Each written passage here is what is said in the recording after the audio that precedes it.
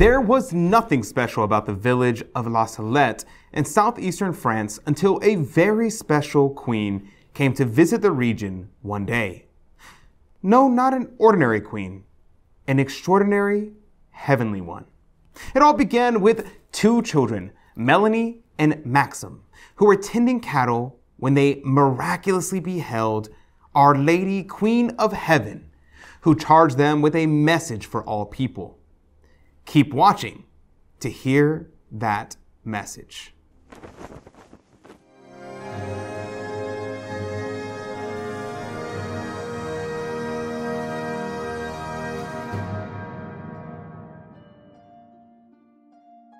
Howdy, and welcome to America Needs Fatima. My name is Adrien Fonseca, and it's so good to be here with you today. Thank you for joining me. If you want a mass said every single day and your name, well, you can click right about here. And if you would like to subscribe, so that way you never miss out another video, well, you can click right here. And if you want to hear an absolutely incredible story of Our Lady's power and love, well, you could just keep watching. It was 3 o'clock in the afternoon on September 19, 1846. Uh, two children, Maximin Giraud, 11 years old, and Melanie Calavat, uh, 15, were tending cattle about three miles from La Salette, a small village in the French Alps, when they suddenly saw what looked like a globe of fire. As the light became brighter, it revealed a most beautiful lady seated sorrowfully, with her hand in her hands and her knees on her elbows. Melanie later recounted that the Blessed Virgin attracted around her, as in her person everything inspired majesty, splendor, and the magnificence of an incomparable queen. She also seemed to me like a good mother, full of goodness, kindness, love, and mercy. Earlier, I told you a queen visited La Salette, and this is what I meant everything about Our Lady is majestic. And Catholic thinker Professor Plinio Correa de Oliveira would agree. He once said, When Our Lady entered there, everything was transformed into a palace. Why? Because she communicates her glory to everything around her. But on to our story. Our Lady stood up and called the children to her and they hurried to meet her. Then they noticed she was weeping. Melanie recalled this, saying, Tears. The Holy Virgin cried almost the entire time. Her tears ran slowly, one by one, down to her knees. Then, like sparks of light, they disappeared. They were bright and full of love. I wanted to console her so that she wouldn't cry, but it seemed that she needed to show her tears, to better demonstrate her forgotten love for men. I find it fascinating that Our Lady's tears disappeared like sparks of light. But I wonder why. Uh, Professor Plinio shed light on this matter when he explained Should Our Lady's tears have fallen to the ground? Should they form a muddy dough mixed with the earth? Can one understand a queen with clothes soaked with tears? No. So, this image of disappearing like sparks is beautiful. A tear that shines at the last moment, it falling emits light and is then collected by the Eternal Father. This is a beautiful solution to a problem that could have easily become mundane. This is such a beautiful story, and it's the, exactly the kind of story that we feature all the time in Crusade Magazine. If you have been a subscriber to Crusade Magazine for a while, you'll know exactly what I'm talking about. But if you don't, if you don't, let me just tell you, we print a beautiful, fully Catholic, full color magazine. It's full of news articles, Catholic wisdom from the saints, and hundreds of stories of miracles just like this one. Each of our Child of Mary members gets a subscription to Crusade Magazine as one of their gifts when they become a Child of Mary. So, if you'd like to have a gorgeous and inspiring Catholic magazine delivered right to your door, well, take a look in the description down below. Well, you could also just click mm, right about here. And if you want to hear more about how the Child of Mary program works, you're welcome to stick around to the end of the video and I'll talk about it a little more there. Okay, back to the story.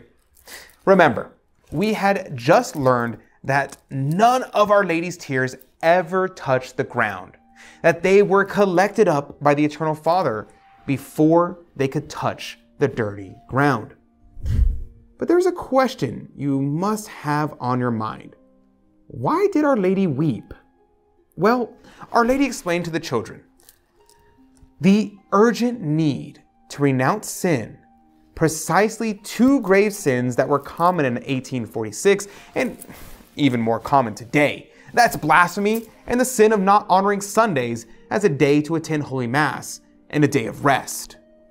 Our Lady said, If my people will not submit, I shall be forced to let the arm of my son fall. It is so strong and heavy that I can no longer withhold it. For how long a time do I suffer for you? If I would not have my son abandon you, I am compelled to pray to him without ceasing. And as to you, you take not heed of it. Our Lady's words make me understand how ungrateful we are to Our Lady and how undeserving we are of the love that she freely gives us. but I'll leave you with this. As the apparition continued, Melanie noticed something that she would never forget the eyes of Our Lady. She said they were so beautiful that human language could never describe them, and her gaze was pure enough to be a heaven in itself. Professor Plinio said that after a person has seen this, he doesn't care about anything else and only cares about not sinning. May we have the desire to see the eyes of Our Lady in heaven in this way. Let's ask Our Lady of La Salette to fill our souls with her graces and help us to make reparation for our sins and others, as she also requested at Fatima, for the sins that make her weep.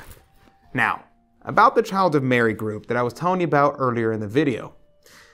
The Child of Mary group was created by America Needs Fatima so that we could focus our efforts on providing our members with as much Catholic education, news, and spiritual support as possible.